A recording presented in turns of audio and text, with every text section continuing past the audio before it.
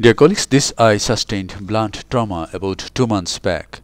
The patient is a nine-year-old boy. I have taken up this case for surgery. See, I have placed the main incision just behind the limbus. I have cut the conjunctiva and then this is the main incision.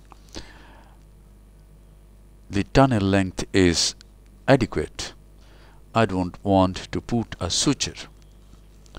One side port has been made on the right side and this is another side port on the left side.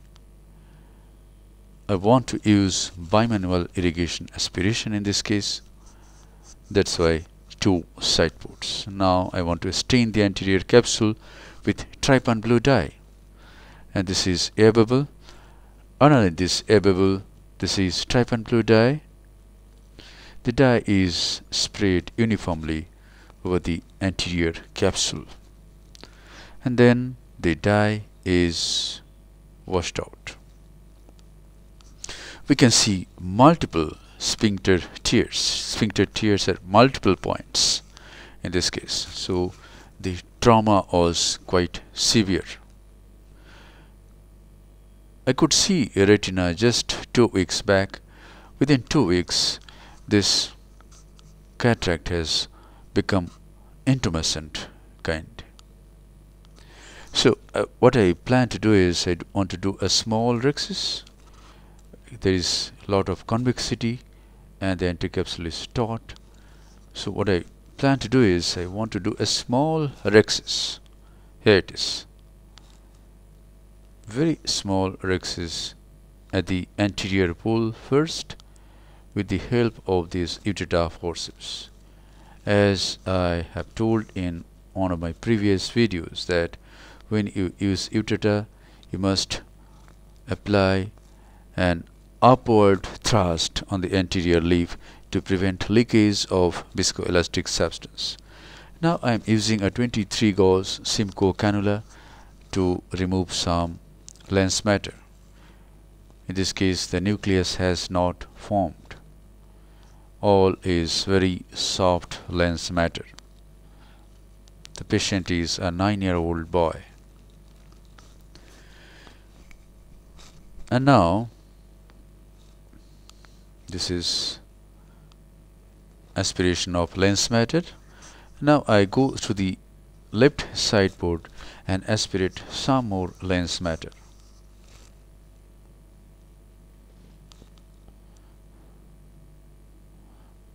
Yes.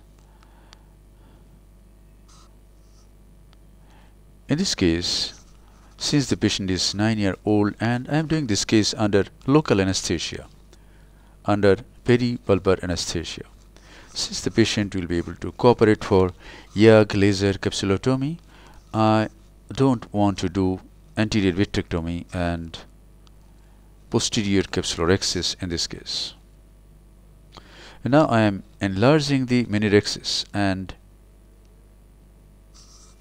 doing a rhexis of optimum size. So the mini rhexis is being enlarged with the help of Utrata. The capsule is elastic and tends to go to periphery. So we have to apply pull judiciously so that we get an adequate sized round rhexis. It's a fun to do rhexis in children. There's a tug of war between the capsule which tends to go to periphery and surgeon's Utrata forceps. It is almost impossible to do rhexis with needle in pediatric patients. So the residents, uh, the uh, eye surgeons must learn to use Utrata forceps. Utrata forceps becomes very useful in intumescent cataracts and pediatric patients where the tendency of the capsule is to run to periphery. So to prevent prevent rhexis runout you must learn to use Utrata forceps and it is very easy. So the cortical the lens matter has been removed. There are some cells and those are actually some kind of fibrous cells which cannot be removed by polishing. So M. this is a Tecnis 1 intraocular lens. When we load the lens both the haptics should be on the anterior surface inside the cutis on the anterior surface of the optic of the lens. The lens is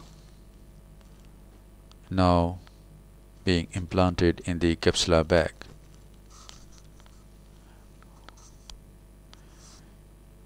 I had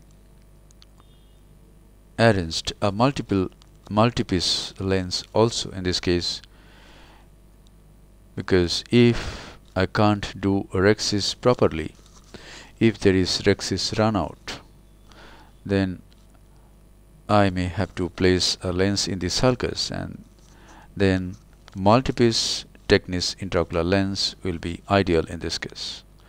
However, the Rhexis was nice and I have placed the lens in the capsular bag and after a few weeks I want to do YAG laser capsulotomy in this case. Now what I'm doing is I'm pulling the iris with the help of a Sinskey hook. Very a mild pull. What has happened is the iris has gone to periphery. Uh, if I just pull it with Sinskey hook it is coming. And the this much dilatation was not because of mydriatic drops. It was because of atonic pupil and now I have to clean the viscoelastic substance that I have used to implant the lens.